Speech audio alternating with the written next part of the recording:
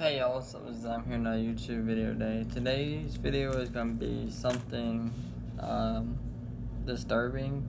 Uh, it's going to be about a woman who sells her seven-year-old son for drugs. Um, now she's facing six years in prison. Um, she entered a plea deal. Her charges are three counts of selling or purchasing a child, conspiracy to buy or sell a child, money laundering, now, she sold her son for $2,500 worth of drugs, and she was planning on selling her two year old daughter her three year old daughter for drug debt. Now, um, a lot of y'all can obviously see why this is a disturbing video. Um, now, they didn't say who she sold them to, um, assuming it would be the drug dealer, obviously.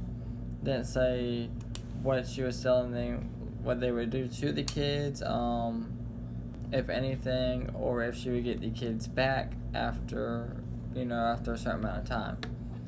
Now, um, obviously, if you are selling your kids to a drug dealer, you know, the drug dealers are obviously going to use them for whatever they want, um, whether it be to get drugs um, or other stuff, such as sexual stuff.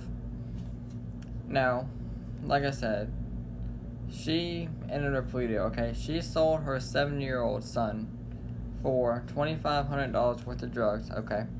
Now he's seven, okay? And you plan on selling your two, two dollars, two and three years old for a drug debt, okay? First off, if you have that kind of problems going on in your life, why would you even have kids, first off, okay? Because, you know, to get that far into something like that to sell your kids, you know, you must have been doing some hardcore drugs for a long time to be selling your kids. You know, that's that's really disturbing. Now, um, like I said, she entered a plea deal, okay? Now, who knows what else these kids went through? You know, if she was selling her kids for drugs and drug debt, you know, I'm sure these kids probably went without food, um, water, clean clothes, you know. So, just because she entered plea deal, you know, like I said in previous videos, that's like going out and murdering someone, okay? Say you murdered three people, okay? And if you don't say you did it, you get life in prison, but you say you did it, you get 25 years. You know, that's that's stupid in my opinion. It really is. Like, I don't get it. You know, I really don't. I don't understand how someone can sell their children and be okay with it. You know, like I said, if you have that kind of problems in your life, you don't need to be sell- having kids.